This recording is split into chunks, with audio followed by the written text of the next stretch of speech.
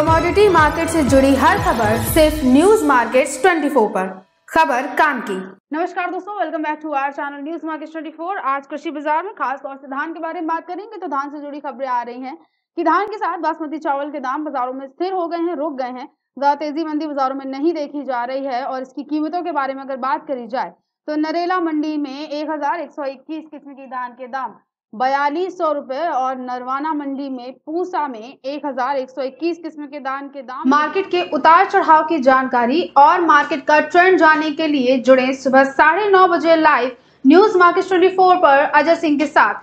Description में दिए गए लिंक पर क्लिक करके अभी ज्वाइन करें। के दान के दाम जो है वो तैतालीस हज़ार से लेकर तैतालीस हज़ार तीन सौ तीस के बीच बाजारों में देखे जा रहे हैं। नरवाड़ा से हैफेड धान की खरीद कर रही है।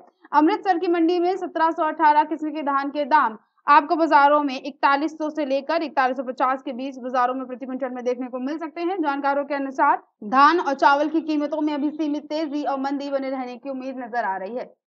तो आज की खबरों में सिर्फ़ इतना ही। अगर आज की खबरें आपके लिए यूजफुल है तो लाइक ज़रूर कीजिए। और कृषि बाज़ार से जुड़ी हर खबर के लिए आप चैनल को सब्सक्राइब करना बिल्कुल ना भूलिए। मिलते हैं आप सभी खबरों के साथ। तब तक के लिए stay healthy stay safe thanks for watching bureau report news market twenty